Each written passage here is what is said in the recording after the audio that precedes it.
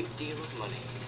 Unfortunately for you, we get to We can have Flintstone sign these right away. not just yet. Creatures like this Flintstone are primitive, prone to irrational bouts of integrity. We've got to make absolutely certain he'll do whatever we say. Fred is the greatest bowler on earth. Fred is the greatest bowler on earth. okay, now you talk and see how much I can remember. Working hard? Okay, Fred. Are you ready for your first executive action? Ready and willing, whatever you need, consider it done. Good. I want you to fire Bernard Rubble. Done. What, fire Barney? Why? Well, for starters, he scored the lowest on the management aptitude test. He's an imbecile. The company can't afford to have dead weight like him on the payroll. But Mr. Vandercave, he's got a new kid. A mortgage. I'm his best friend. I can't. Fred, if you don't fire him, I will. And then I'll fire you.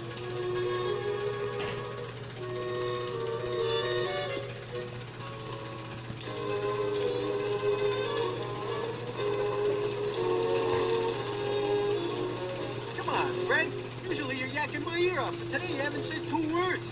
Something exciting must have happened up there. You don't want to know, Barn. Believe me. Sure I do, Fred. You're the first one of us to make it out of that quarry. Look at me. I'll probably be working there for the rest of my life. No, you won't, Barn. Take my word for it. Come on and take a look at it. It's a dish. It's in the shower. You keep the soap right in it. Hey, listen, Barney, there's something we got to talk about. Yeah, yeah, later, Fred. You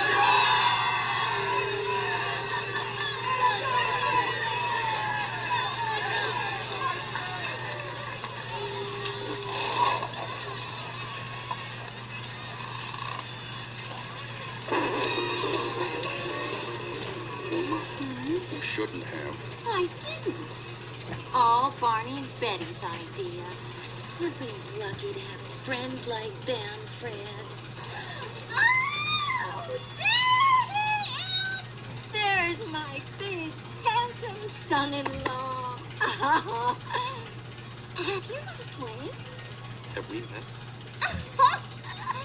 Can I have everybody's attention, please? I got a little something I'd like to say. I hope it's not another poem. Fred, Betty, Bam Bam, and I could not be happier, even if it was me that got that job. Mm-hmm. So we got you a little something just to show you how proud of you we are. Congratulations, big guy. Barney, I can't accept this. Sure you can. No, I can't take it back. Well, we can't said we had your initials branded on it. Yeah, it's yours, Fred. No, it's not. Fred, what's wrong with you? It's a lovely gift, and he is thrilled to receive it. Aren't you, Fred? No, Don't you like the color? it's not the briefcase. It's not the color. I just can't take anything from you. But Fred, Take a hike, Shorty. My Freddie doesn't like that cheap thing. how come, Fred? Because you can't afford it, Barn.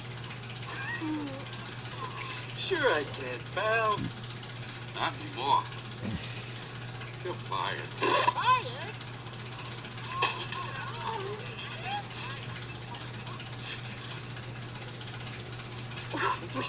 Well, let's not a little thing like